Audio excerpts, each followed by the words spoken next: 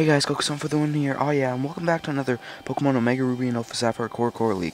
Today we'll be taking a look at the most recent CoroCoro leaks. They just came out a few hours ago, so yeah, let's get straight into this. Now in the first picture, we can see we get a lot of legendaries. Sadly, we don't have any new Megas, but it looks like we can get Thundurus, Landorus, Tornadus, um, Terrakion, Virizion, Cobalion, the dogs, the Lake Trio, Cresselia, Heatran, all of these Megas and Mega Ruby and Alpha Sapphire It's just so amazing. I don't understand why Nintendo is doing this, but it's going to be very hype. In this next picture, it shows off Di Deoxys and Mega Rayquaza in a little battle thing.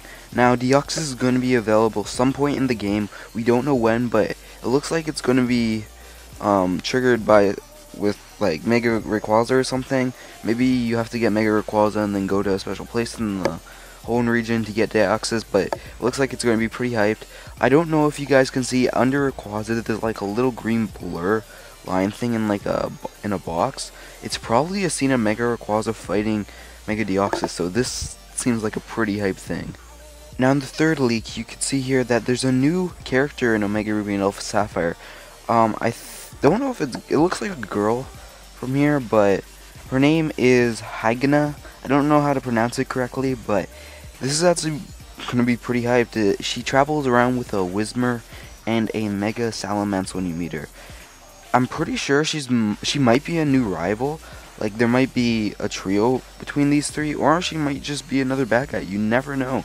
Or she might help you like Steven, like a new Steven or something like that. But it looks like it's going to be pretty hyped.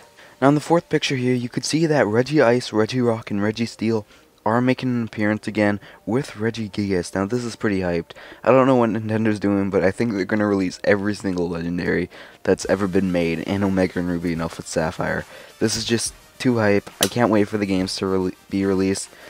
But yeah, so anyways, there aren't any more leaks for this month. We're not going to get any more CoroCoro leaks before Omega Ruby and Alpha Sapphire come out. So this is pretty much it for the leaks. But anyways, if you guys did like this video, leave a comment down below telling me what you guys like and also what you didn't like because I really love hate then I know what to do better and I can make better videos for you guys to enjoy better content just everything in general. So remember if you guys like this video shoot that like button with a Kamehameha